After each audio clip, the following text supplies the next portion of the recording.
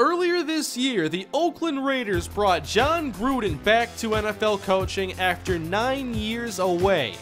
And they did so by signing Coach Gruden to a 10 year, $100 million contract.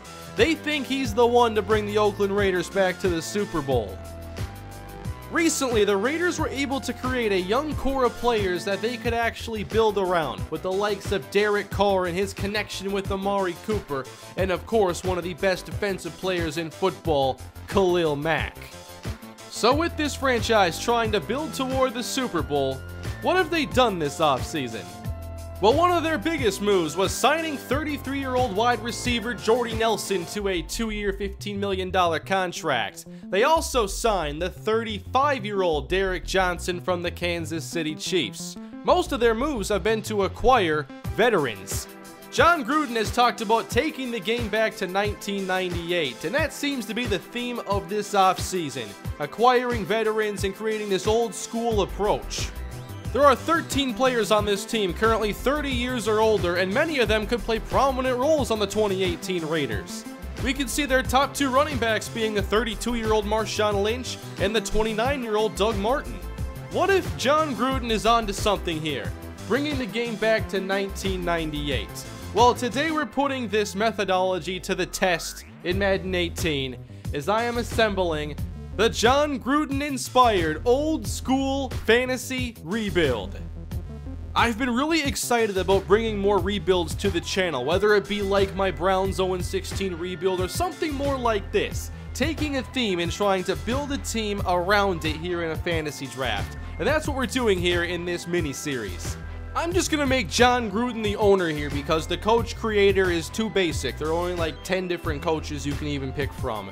So he might as well be the owner anyway because they gave him a $100 million contract. So what we're gonna do is we're gonna go into fantasy drafts here and we're gonna build a team with the inspiration of Jon Gruden. We want a team here with an old school approach. And that means maybe getting some players who have been around the league a little while. We want tough football players. We want big football players. Let's get to work. So let's see exactly what team we're able to build here in Madden 18 Fantasy Draft. Oh wow, we pick all the way toward the bottom of round 1, but we'll pick toward the top of round 2 at least. So, what do you do here? Your first pick in the draft, what have other teams done? We see Casey Hayward went not long ago, Harrison Smith, Julio Jones, no quarterbacks. Well, I guess Carson Wentz went, so did Aaron Rodgers, Cam Newton, Andrew Luck, and Russell Wilson. So I guess a lot of quarterbacks did get drafted. So here are the choices that we have at number 26 overall. Le'Veon Bell, why not go get one of the best backs in the NFL? That'd be an old school way of thinking. He's a big back, he can do so much. He carried the ball, or touched the ball rather, 400 times a year ago. I think Jon Gruden would love a player like Le'Veon Bell. So you know what? He's our number one selection. Let's go. Here in round number two, what we're going to do is draft a tone setter on the defensive side. Yeah, we're going all the way down here. Number 12 in Ndamukong Suh. He's been around the league for a little bit now. He's in his 30s. He's strong. He can control the middle. He's our second selection. Suh also gave us some bonus points there for being 30 years old. Who's next? Every team needs a quarterback, of course. And we're going to go with the pocket passer, Philip Rivers, who's played a number of years in the NFL. It's time for Philip Rivers to make his way to the Raiders. We need players who are tough and help us out in multiple ways, and that's why we're taking Delanie Walker next. He helps set the tone in the running game, but also is a great receiver, and he's had a lot of experience. He's a great fit for our team. I don't like the Falcons now. They just took Kam Chancellor. I was going to take him next. So I guess we better go somewhere else now. We all know how important offensive line is, and he might not be a longtime veteran, but we have room here for Zack Martin. So many of the great teams of the past had these dominant offensive lines, and we need to work on constructing one of our own. Let's go David DeCastro. Okay, that's a lot of picks into the offense. We better add to our defense and help us get to the quarterback. We're taking Cam Wake. It's hard to play in today's NFL if you can't stop the pass, so we go get a pass rusher. Now we go get a cover corner in Brent Grimes.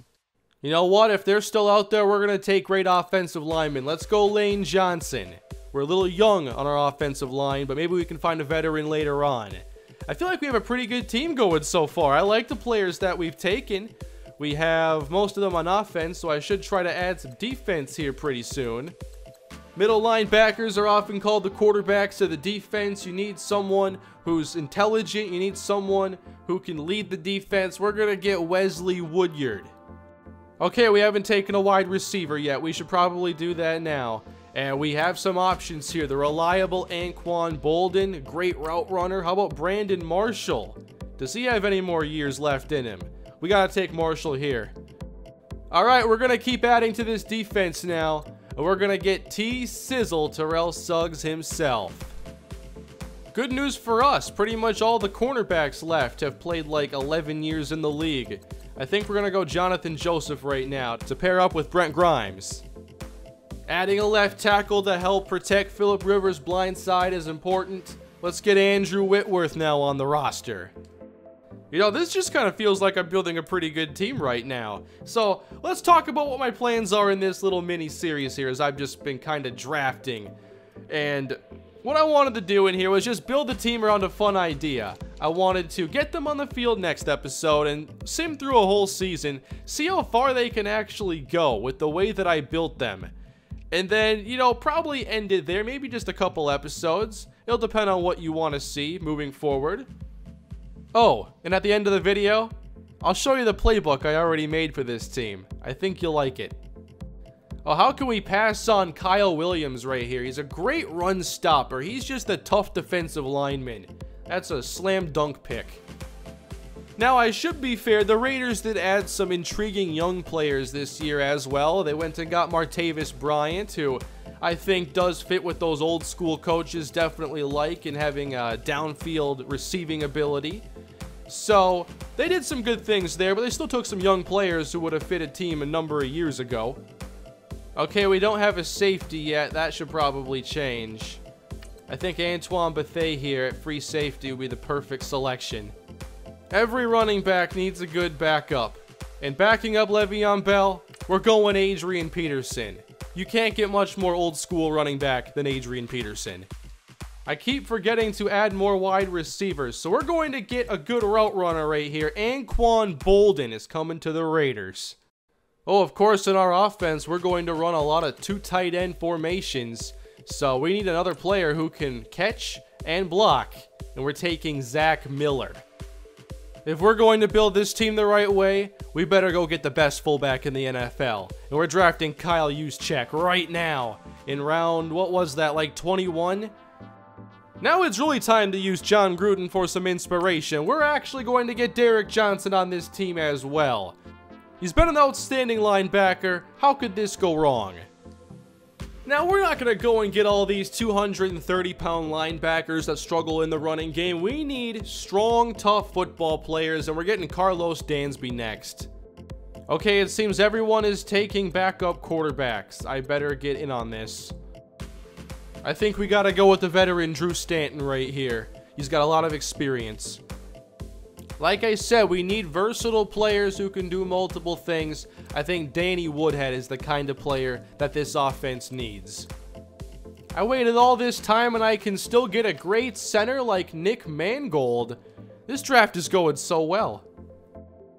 Okay, it's hard to get more old school than one of the oldest cornerbacks in the game. We have to take Terrence Newman right now.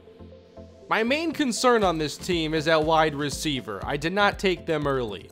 So we're going to take Ryan Grant right here. He's not the oldest option we can take. We're still trying to build a team that might be able to win here.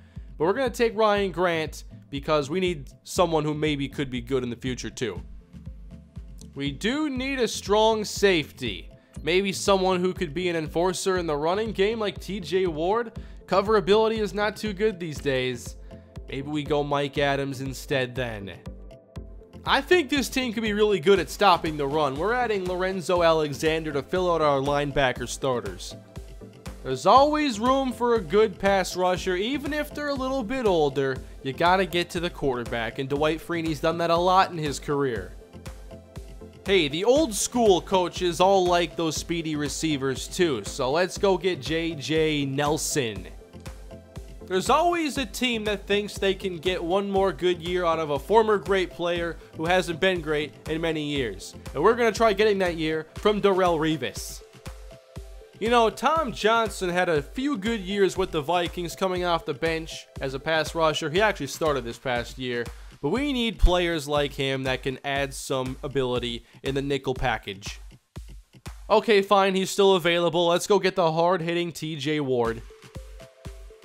There are some players in the NFL who just stick around for a very long time and they put together some solid years. You're just waiting for them to be replaced and they never get replaced. We're taking Adam Jones. Old school teams for some reason thought it was necessary to always carry three quarterbacks. So we will get a young quarterback on the team. It's going to be Chad Kelly. I totally forgot about kicker, but don't worry, there are plenty of good ones out there. How can we go wrong with Matt Bryant? And we're going to bring Marquette King back to the Raiders. A blocking tight end with a giant beard sounds like a perfect fit for this team. We're taking Sean McGrath next. Reggie Nelson really down to 60 coverage. You really got to make some mistakes to get down to 60. How about DeAngelo Hall's at 59? Okay, things have changed quite a bit. Let's just take Colt Anderson here. He still has 75 zone coverage. Perhaps four running backs is enough for this team. We're going to get the speedy veteran, Chris Johnson. We also need to think about what if Kyle Juszczyk gets hurt? We have to have that backup fullback. So here's Cory Harkey. Offensive line depth. That's our pick now. John Sullivan. Albert McClellan is up next as we add linebacker depth. Round 49. You're all still with me, right? We just drafted Leon Hall, and it's almost over. And for our final selection here in the old school fantasy drafts, a running back and a fullback, Mike Tolbert. It's over. Wait a minute. 54 rounds? That's right, there are 55, aren't there, for some reason? Why are we still picking players? Okay, I've done. Give me this speedy KD Cannon. Oh, now it's over. All right. I've assembled the team, and this took some time. These drafts, you always think it's going to be fun, and then you get to like round 30, and you're like, wow, I'm hardly halfway done, and I'm only drafting backups right now. But we got through it. And now, look at what I've constructed. It is amazing. This team could legitimately be good.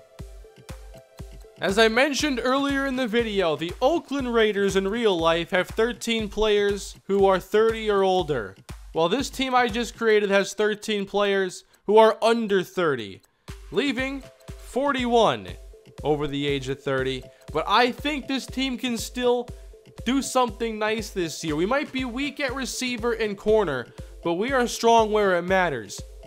Up front on both sides, we have a great line.